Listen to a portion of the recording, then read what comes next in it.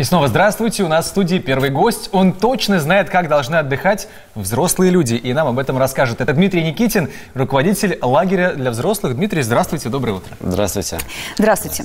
Дмитрий, итак, лагерь для взрослых где-то, ну, в лесах, там, в марийских лесах, допустим, да, где нет вообще никаких гаджетов, даже мобильных телефонов. Вот как появилась эта идея вообще и как он действует?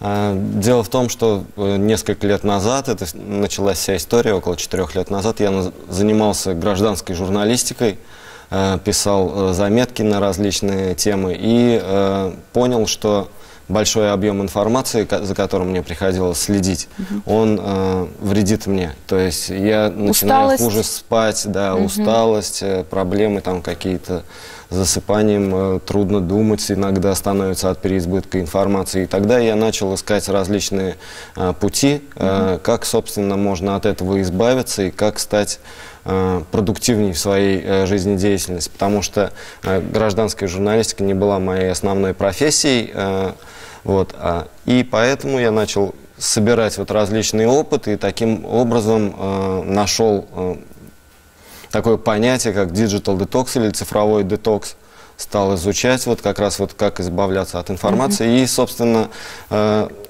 наш лагерь для взрослых э, это компиляция опыта э, различных э, стран, э, как люди это делают в других э, странах. Да. И главная наша задача это отдохнуть от информационного шума. Да? Отдохнуть... С помощью чего мы отдыхаем?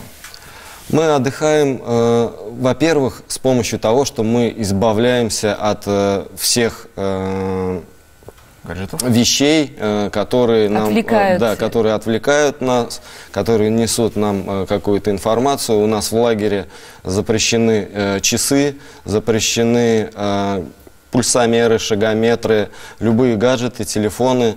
Также у нас запрещены разговоры о работе.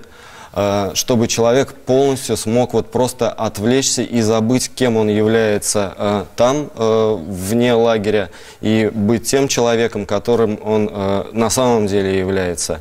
А чем наполняем мы наши смены? Mm-hmm. Мы наполняем их различными творческими мастер-классами, немного, может быть, психологии, мастер-классы по массажу, гимнастика цигун, кулинарные мастер-классы и э, так далее.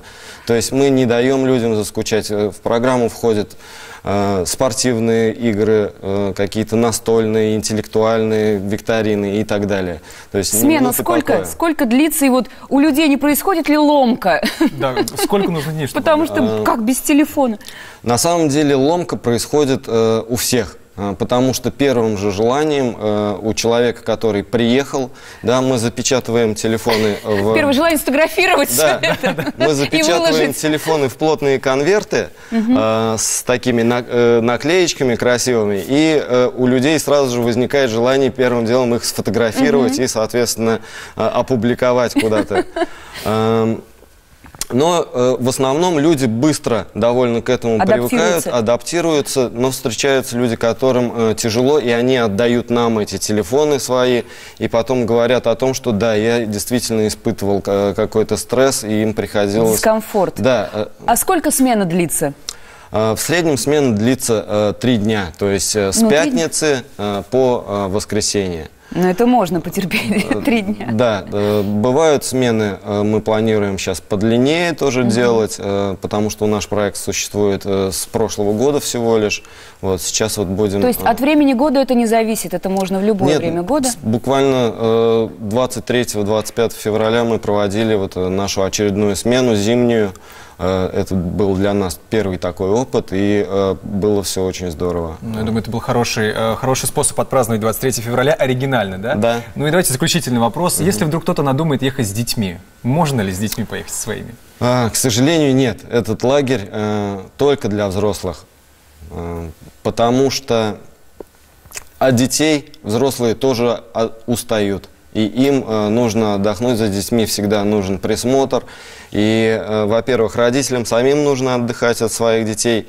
И э, чтобы не создавать дискомфорт остальным э, гостям Да. нашего лагеря, потому что, ну, дети, они и есть дети, они создают лишний шум, как раз вот чего мы пытаемся не допускать. Ой, какую картину вы нарисовали прекрасную, просто да, Эдем. да, Дмитрий, ну отличная идея, мы вам желаем удачи, желаем Да. расширения проекта. И, друзья, те, кто заинтересовался, лагерь для взрослых, попробуйте, отдохните и так.